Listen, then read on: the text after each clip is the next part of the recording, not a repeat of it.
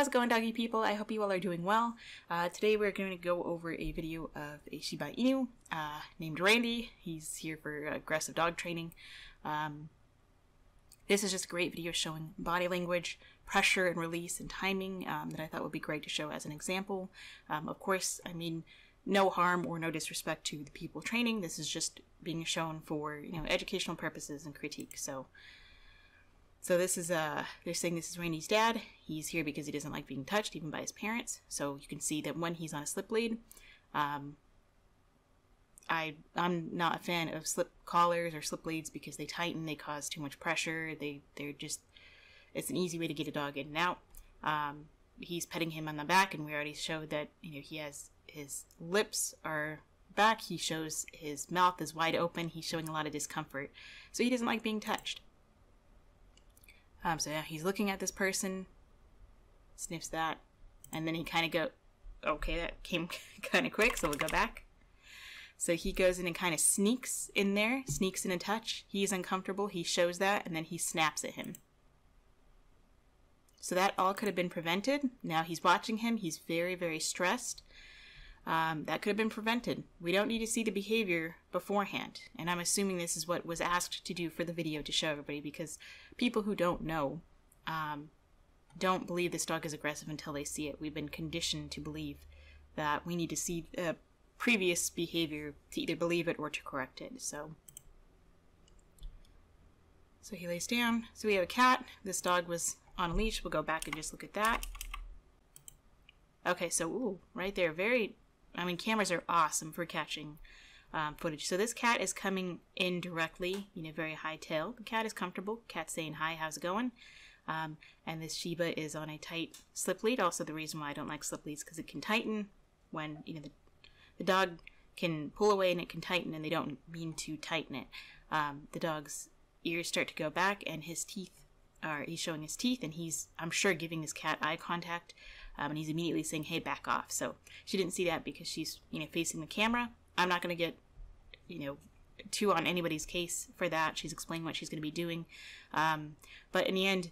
I would still say that this could have been prevented. I wouldn't have the cat in this area anyway. I personally wouldn't have the dog on leash. I would have them either dragging a leash, uh, hopefully on a harness, um, if you can get a harness on the dog, which may be why they have a slip lead on it. So, you know, we all learn, but um, I would let this dog just be running around loose.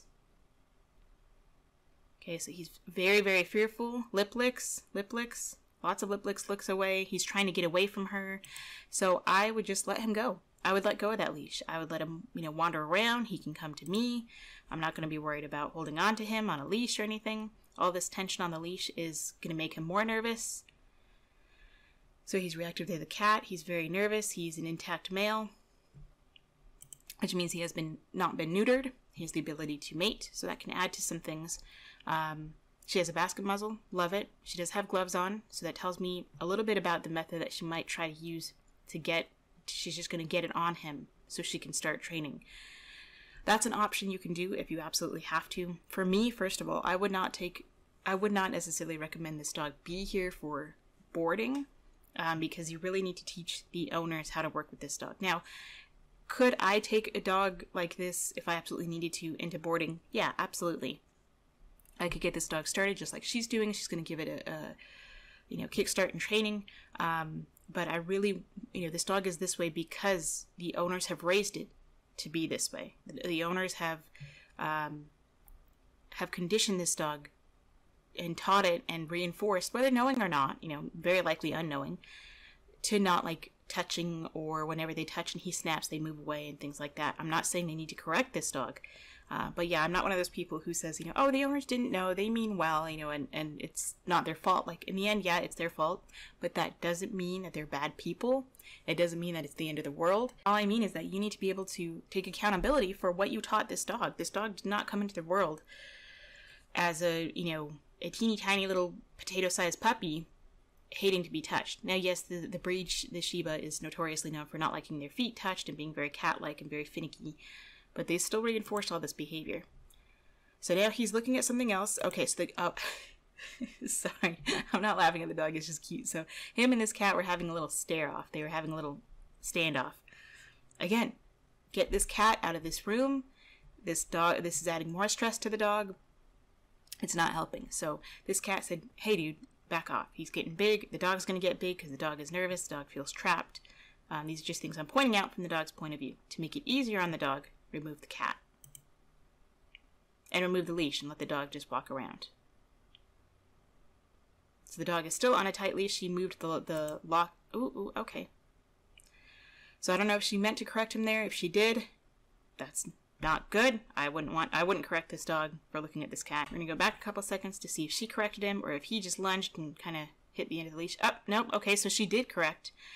Aha. So I'm sure if I listened to what she was saying, you know, she would say that she corrected him for growling and whatnot because that was a, a, purposeful pop. I don't like that. I don't agree with that. Um, get the cat out of here.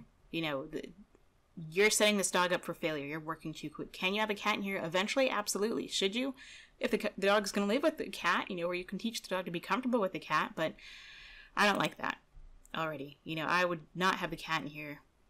Again, I'd be working with the owners. I would have either a flat buckle collar or harness on him, but I would have him dragging his leash, if anything, or just running around free, and there would not be a cat in the room with me.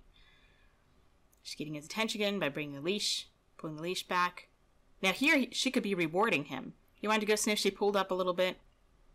She doesn't have the softest of hands, I would say. And I don't mean be like like with lotion. I mean like you know her movements are kind of jerky and poppy and loud, loud hands. She doesn't really, in my opinion, she's not really like teaching this dog to be soft.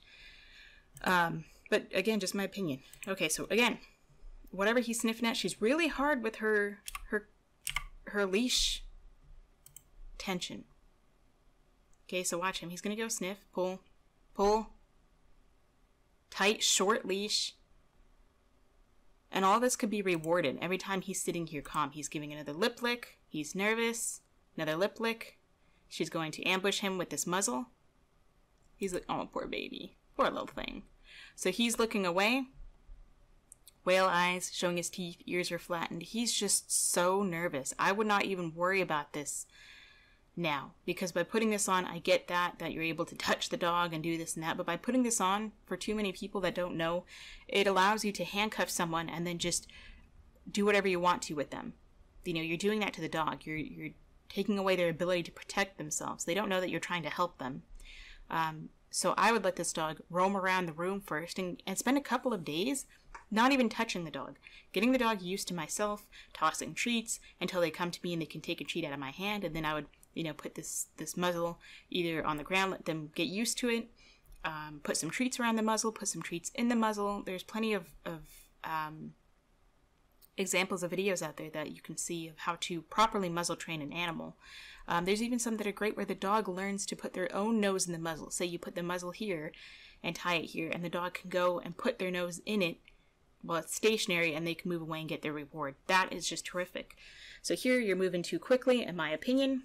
Um, and I have a Shiba, so I know how they are. And my dog has never ever shown teeth like this to me. Um, I don't even know that he's shown it to. He's never even shown teeth like this to anyone. He's never shown it to a vet. Um, he will fight. He will show whale eyes, but he's never shown teeth like this to a person. You know, maybe a dog occasionally, and then he'll snap and move away. But she's working way too fast. So there. I know I stop a lot. I talk a lot. Blah blah blah.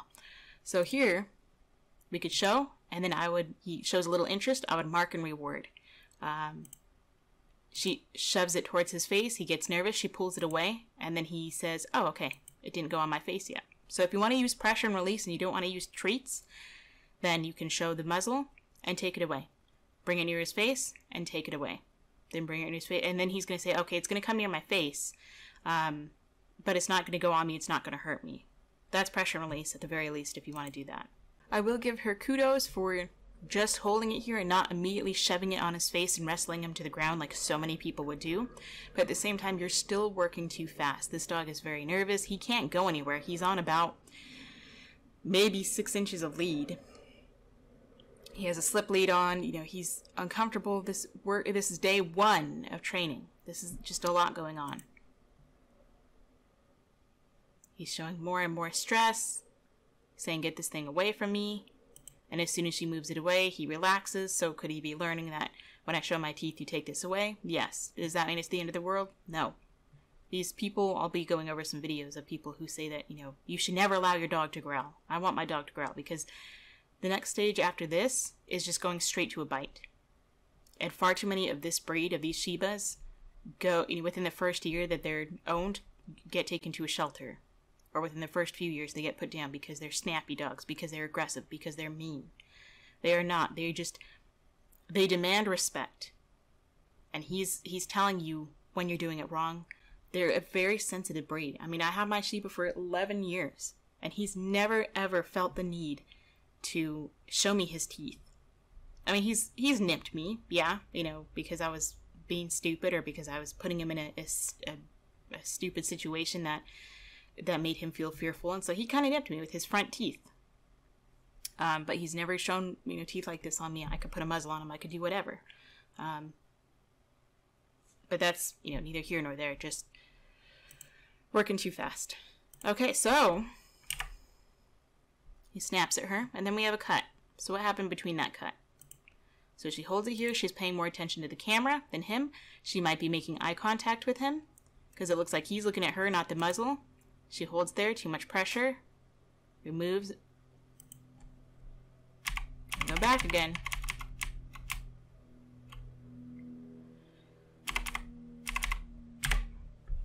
So she's holding this here. This is pressure she's putting on him. Something in his face. Pressure, pressure, pressure. Pressure. She's not relieving pressure, as in pressure and release. So I put it here and move it away. Pressure, pressure. Looks like she might be making eye contact with him. And she looks away and he goes to snap. And then you have a cut. So what happened in that cut? I don't know. I'm not saying that she gave him a harsh correction or not. I would assume that, but I'm not going to say that. I mean, you shouldn't make assumptions. We don't know what happened during then. So now we have him standing up. It looks like he has soiled himself. Okay, looks like he's pooped himself out of just sheer shutdown. And she still has the muzzle she's putting on him. So if he has soiled himself because he is so stressed, that is an extreme amount of fear you're putting on this dog. Adonis has done that before. He has pooped himself out of fear because he was at the groomers, had a big box pet store, getting groomed for the first and only time. Um, and they were so rough with him in the bath, and when they put him on the grooming table and they fought with him, you know, because which was still my fault because I didn't look into it. I didn't prepare him for any of that. Um, that he'd soiled himself on the table. Um, that is just and and ever since then he has never wanted to go back to a pet store again and i can't blame him for that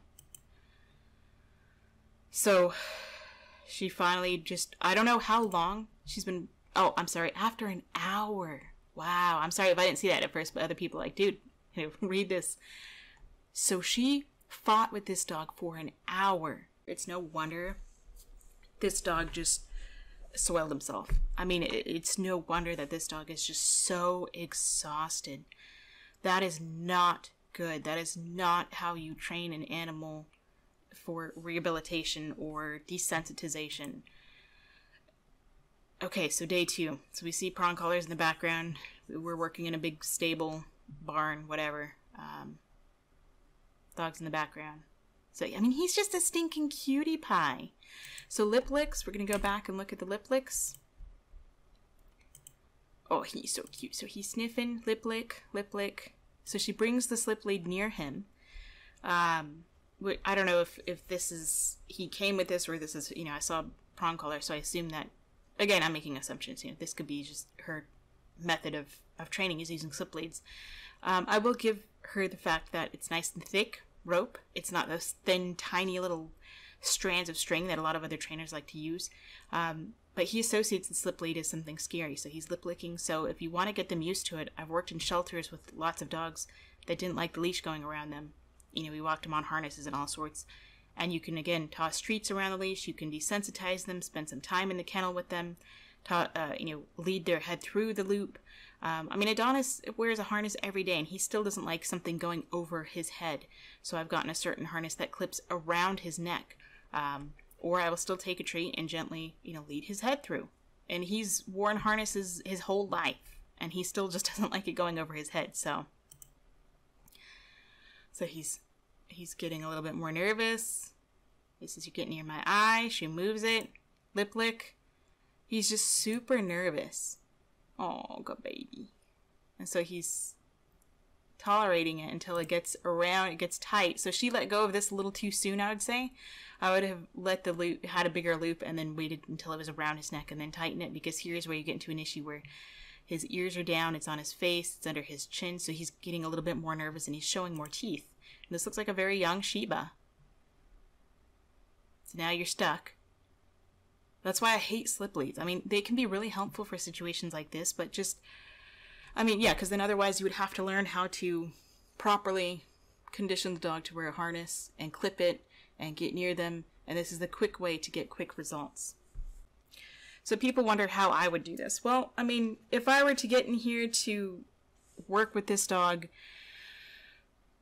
I would first just start on getting to touch him, being able to touch him. Um, yeah, if I had to use a slip lead to get him in and out, then yeah, I would. You know, I but I also probably wouldn't have him in a small kennel like this. Um, you know, again, that's the hard thing about having like a board and train is that I would prefer the people to be working with him. I'm teaching the people how to work with him where he's comfortable. But if I had to have him here, then I would be sitting in the kennel at the other end of the kennel, sideways to him. So if he's facing this way, my shoulder would be facing up and down, and my hip, and I would be pretzel style on the floor. And he would just come up, and I would get him used to me touching him. You know, he can, first he comes up, and he's comfortable coming up getting a treat, and then while he comes and gets the treat, I can just go, you know, put my hand towards his chest. If he moves away, that's okay. I'll keep my hand there a second and then I'll take it away. When I can touch his chest and I can scratch it and scritch it, you know, and, and he's more comfortable with that, you know, then I can touch his side and all this other uh, over here, and I can take this leash and I can start to desensitize him with touching over here and this and that. Uh, you know, this might be the reason why they can't put a harness on him. Um, this is a more severe case that takes a lot longer than just however long he's going to be here, which I would assume maybe two or three weeks. So it's a long process. It's not just you know, people ask, well, how would you do it? Well, for the people who ask how I would do it, I they, they don't expect me to actually go through the entire training plan. You know, I don't have a simple answer. Um, I will talk about every little baby step, so you best be prepared. If you ask me how to do something, um, you're gonna you're not gonna get a short, quick, simple answer. It's a lot more than that. So again, we have a camera on his face. The camera is kind of prioritizing. We don't know what else went on for the rest of that day. I'm sure she's explaining it. But now we have him on the slip lead on day three, and he's already looking away. He's very, very stressed. You know, she looks like she's able to touch him, but he's just barely tolerating it, maybe because he's so frightened. We no longer have the muzzle on him. Um, so now, for an example like this, if I were to be here with him, first, I would like him to be here without me having to hold him here. That would be goal number one, is to be able to sit in this room and him just come up to me on his own. He can sit next to me and that's fine. I would reward him. Or, I, or a reward would be that I just don't touch him. Then I can take my hand, personally ungloved hand, because if you need gloves to work with an animal, you're working too fast. Then I would take my hand, the back of my hand, and just lightly touch him and move away. And then give him a reward. Or just, if it's strictly just pressure and release, no rewards, which is not how I would do it, but I could suggest touch, and then move away. Touch, which is pressure, and move away. And then eventually you can like touch the top of his, his back and give a quick quick little scritch and then move away. That much. Just one hand worth of scritch and move away. And by doing that, you're teaching him to accept the touching, and in fact, maybe he can even enjoy it. But this dog is so stressed. This is day three. He has very spatulate tongue.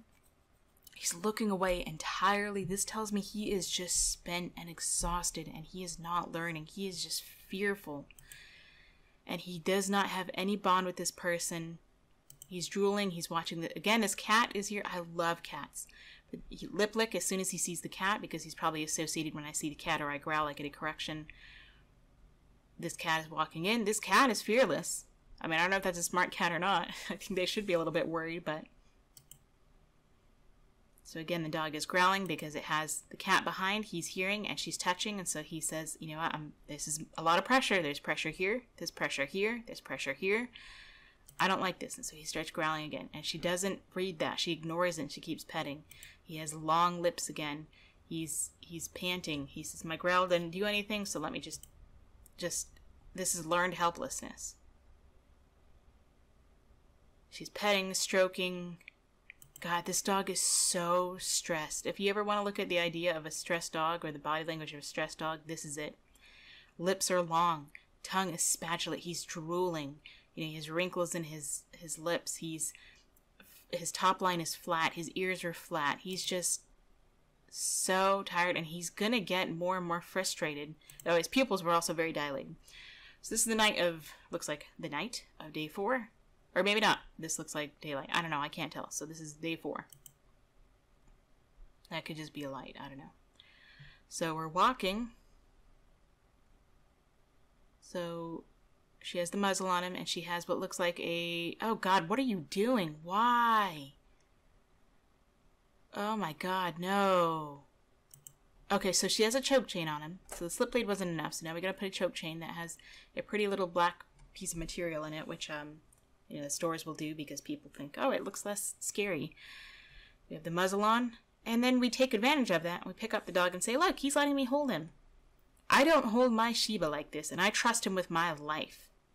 And he trusts me with his, li- his life. He would never bite me, but I don't do it because it's not comfortable for him. He's uncomfortable being lifted off the ground, let alone this dog who, who might as well think she's out to kill him. So do not do this is leading to her false sense of of this is leading to a false sense of security. His pupils are dilated. He's looking away as soon as she kisses him. He does not care about you. He is waiting for you to leave him alone so he can get out of here. Choke chain, that's the only reason why he's walking. We don't know how many times she corrected him. Now he is looking at her. He looks a little bit happier. He's still stressed. But, you know, yawn. Oh, okay. So she bends down. She's still wearing the gloves, by the way. So here he looks okay. He looks like a pretty happy, I mean, stressed, but still pretty energetic Shiba. You know, they have, they can take a lot. As soon as she gets down, he turns away and lip licks. He takes a step away, turns his head, and lip licks. And again, she's still wearing her gloves.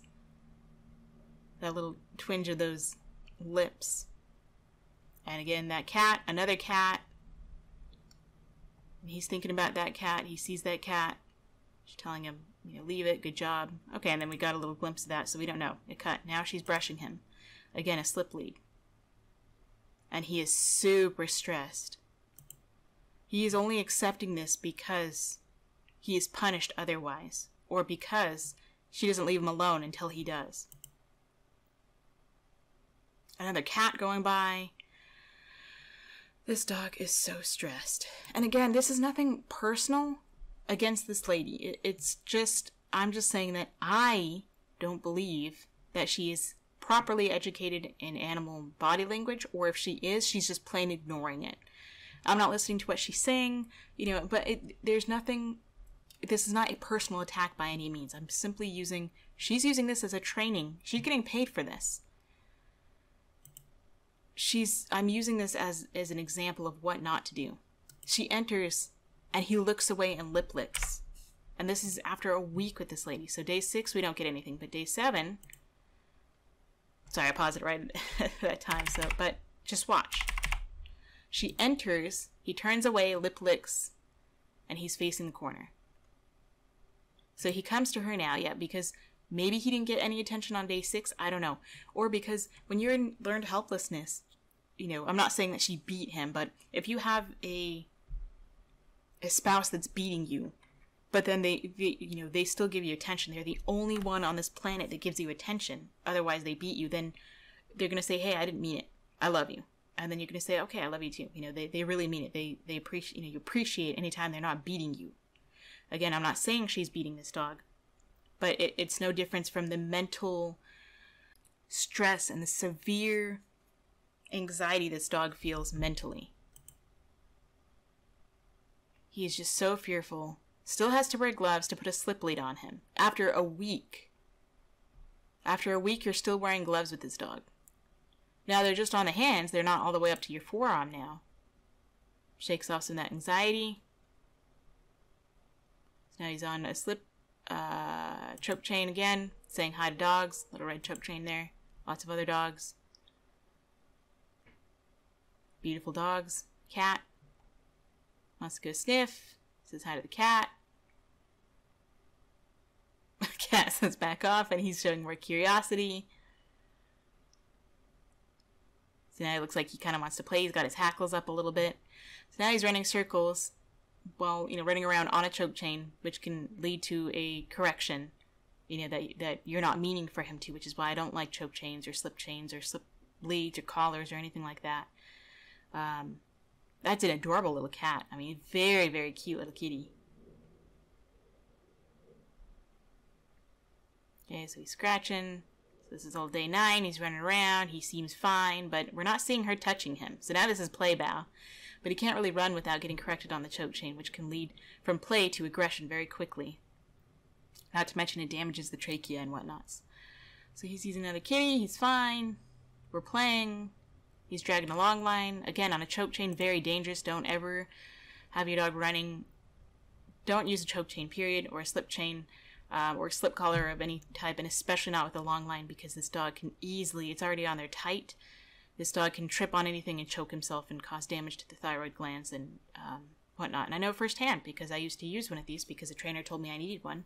And Adonis had, um, you know, developed thyroid issues and breathing problems as he got older. I trained him with one of these at six months old, thinking, you know, I didn't know anything. And um, to 11 and a half, he's still dealing with issues. So day 14, she's t- telling him down.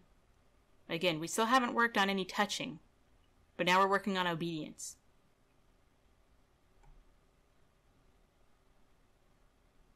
So obedience is different than touching this dog. Working with Randy's parents on how to continue his training, and that that I, I'm telling you, man, that choke chain is on incorrectly. I think from what little I know about them is that it's supposed to be loose, not tight and hanging like that. You have it on so it's not constantly correcting. So there, she's showing them how to walk and put it into a sit. Blah blah blah blah. But no touching, we notice. Oh, okay, so she gave him a little pat there. Okay, so he is padding. But you got results, but how you got how did you get them? She didn't even show how she got them really. She may have explained it better, but just because the dog looks happy does not mean that he did not soil himself. Just because he looks happy does not mean he, he did not soil himself after she wrestled with him for an hour to put a muzzle on. So the results you get and how you get them are very important. So just because they say that he's a happy little dog now, I hope he is happy. I hope he's safe, but this is not how I would do it. So anyway, this is just um another video on what not to do when training aggression uh, aggressive dogs that don't like touching. So um, thanks for watching. Let me know what you would like to see next time, and let me know what you thought of this video. And until then, stay positive.